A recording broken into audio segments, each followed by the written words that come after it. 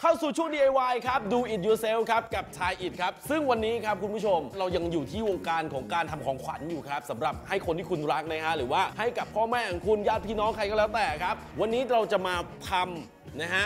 โบครับโบติดของขวัญครับ แต่เราจะทำในรูปแบบของการพับกระดาษครับ ศิลปะการพับกระดาษแบบโอริกามิไม่ยากครับ ง่ายมากๆด้วย ใคร ๆ ก็ทำได้นะครับ เพียงแค่คุณนะจำขั้นตอนให้ได้เท่านั้นเอง เดี๋ยวดูกันนะฮะว่าอุปกรณ์มีอะไรบ้าง มาเริ่มที่อย่างแรกเลยครับคุณผู้ชม สิ่งที่คุณผู้ชมต้องมีครับ นี่เลยครับกระดาษสีครับ ซึ่งในนี้ผมเลือกสีส้มนะตัวนี้เนี่ยผมวัดเป็นขนาด6คูณ6นิ้วนะครับเพราะว่าจะทำขนาดเล็กแต่ถ้าเกิดว่าใครอยากได้โบนใหญ่ๆเนี่ยตัดเป็น9คูณ9แล้วกัน เพิ่มขนาดเลยตามที่อยากได้นะครับแต่ย้ำเลยว่าต้องเป็นสี่เหลี่ยมจัตุรัสครับเอาละอย่างที่สองครับที่คุณผู้ชมต้องมีครับคัตเตอร์ฮะเอามาตัดกระดาษนะครับสิ่งต่อมาครับ ดินสอเนี่ยนะฮะคือเอาไว้ล่างครับบนกระดาษสีนะที่เป็นแผ่นใหญ่ๆเนี่ยบนล่างให้มันเป็นจัตุรัสนะครับแล้วก็ไม้บรรทัดครับเอาไว้ตัดนะฮะแต่ในที่นี้เนี่ยผมไม่จำเป็นต้องใช้แล้วล่ะนะฮะผมมีกระดาษแล้วนี่ครับกันไกครับสองอย่างนี้จำเป็นมากกันไกคัตเตอร์ ในการทำโบครับ เรามาเริ่มกันเลยดีกว่าคุณผู้ชม อย่างแรกครับคุณผู้ชมครับ พับครึ่งครับ นี่คือขั้นที่หนึ่งครับ พับครึ่งอย่างนี้นะฮะที่การพับกระดาษครับ เวลารูดเรารูดมาจากตรงกลางก่อนนะฮะจากตรงกลางครับปลายนะฮะแล้วมันจะเท่ากันทำให้เป็นรอยฮะ ด้านต่อมาครับพับครึ่งครับ อีกมุมหนึ่งอย่างนี้ฮะ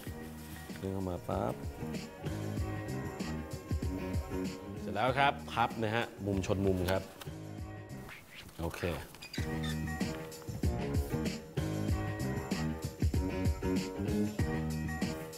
จากนั้นครับกลางเป็นอย่างนี้ครับทำสามเหลี่ยมอย่างนี้ฮะ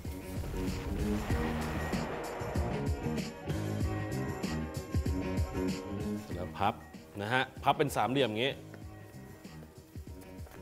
อย่างนี้ครับคุณผู้ชมเห็นไหมฮะพับเข้ามาฮะด้านนี้เช่นกันครับ พับเข้ามาพับอย่างนี้ครับให้มันได้เป็นรูปทรงอย่างนี้เอาละทำเป็นรูปทรงนี้นะฮะดูนะคุณผู้ชมครับเดี๋ยวพับช้าๆอีกทีหนึ่งปึ๊บมาอย่างนี้ครับ เข้ามาปั๊บชนปึ๊บปิด รีดครับจะเป็นอย่างนี้ครับ เสร็จแล้วครับ เราพับตรงนี้ขึ้นมาครับ สักนิดหนึ่งพับครับรีดนะฮะนี่ฮะจะเป็นอย่างนี้ครับโอเคเราปล่อยมันลงมาฮะเสร็จแล้วครับ เรากางกระดาษออกมาครับ นี่ครับเป็นสี่เหลี่ยมนี้ฮะนี่ครับสี่เหลี่ยมนี้นะ เสร็จแล้วครับเราพลิกกลับมาครับอย่างนี้นะครับ พับขึ้นมาฮะ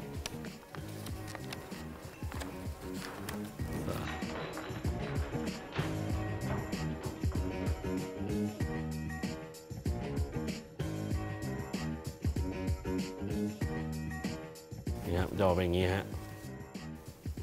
โอเคครับคราวนี้ครับเราก็เราก็จับตรงมุมนี้ฮะแล้วเราก็เอานิ้วเนี่ยดันเข้ามานี้นะครับก็จะเป็นมุมครับสามเหลี่ยมตามที่เราพับไว้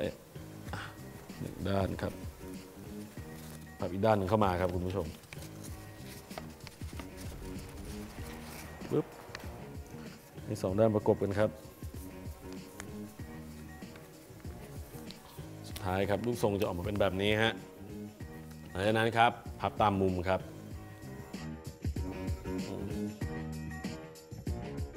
ก็ทำอย่างนี้ด้านที่สองครับเสร็จแล้วฮะเป็นอย่างนี้นะฮะนี่คือด้านแรกนะครับ ด้านต่อมาครับกลับหลังหันครับทำเช่นเดิมครับ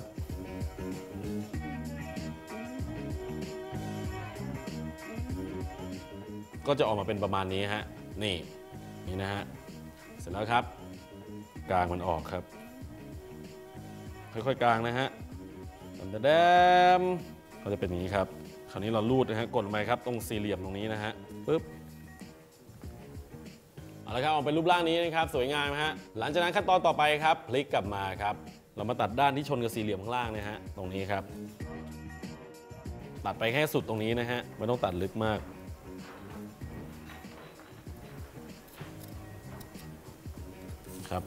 มันก็จะรอดออกมาได้ฮะเป็นอย่างนี้ฮะเสร็จแล้วครับเราพับครับลงมาอย่างนี้ครับก็จะได้เป็นอย่างนี้ฮะแล้วเราก็ดึงมุมตรงนี้ครับ ให้มันชนกับตรงกลางนะครับ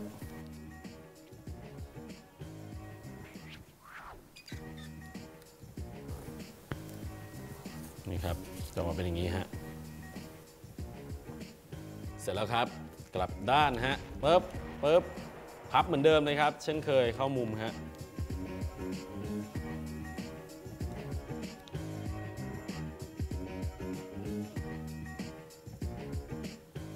เอาละหลังจากพับลงมาแล้วครับนะฮะเราทำงี้ครับ จับมุมนี้ครับ มาเลยฮะปั๊บครับพับมาอีกด้านครับ พลิกมาทำเช่นเคยครับ เหมือนกัน พลิกมาอย่างนี้ครับ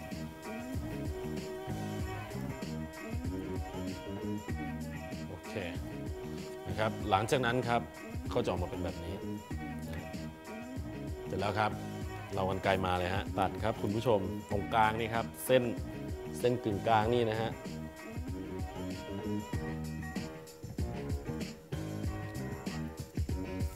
โอเคนี่ครับเป็นอย่างนี้นะฮะพลิกกลับด้านมาครับเป็นอย่างนี้จากนั้นครับพับเข้ามานี้นะครับ เข้ามา แล้วก็พับตรงนี้ครับตอนแรกเราจะเป็นแบบนี้ก่อนนะฮะแล้วเดี๋ยวเราจะพับตรงนี้เข้าไปอย่างนี้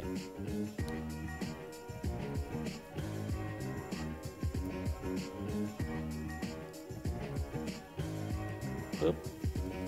เสร็จแล้วครับเป็นออกมาสไตล์นี้ฮะนี่ด้านหลังครับ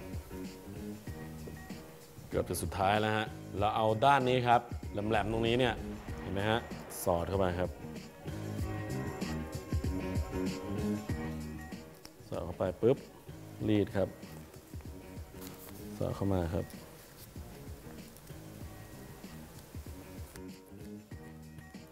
นี่ครับ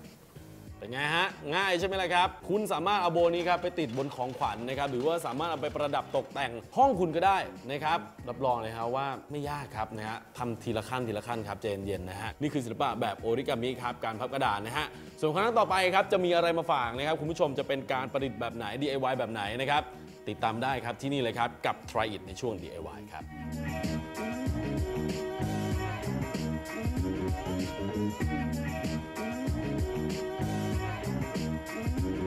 เป็นยังไงกันบ้างเลยครับคุณผู้ชมครับสำหรับวิธีการแก้ไขปัญหาครับที่ผมเอามานำเสนอให้คุณผู้ชมในวันนี้ บอกแล้วใช่ไหมฮะว่าง่ายมากๆนะครับผมใช้เพียงแค่หลักการทางวิทยาศาสตร์ฮะหรือไม่นะครับก็เป็นเรื่องของความคิดสร้างสรรค์ครับรู้จักดัดแปลงครับเอานี่มาปรับนิดปรับหน่อยครับก็สามารถแก้ไขให้คุณได้แบบง่ายนี่คือสไตล์แบบไทยอิฐครับส่วนในช่วง DIY วันนี้นะฮะก็อย่าลืมครับนำไปลองใช้กันดูครับสามารถใช้ได้กับของขวัญนะฮะที่จะมอบให้คนที่คุณรักเป็นงาน handmade ดีๆนะครับที่มอบให้นะฮะเอาละครับวันนี้ก็หมดเวลาลงแล้วนะครับสำหรับรายการ Try It แล้วเจอกันได้ใหม่ครับที่นี่ครับกับ Try It ครับ ทรูวิชั่นส์ 54 และ 70 ครับ กับบล็อก A ครับ Entertain Your Brain ฮะ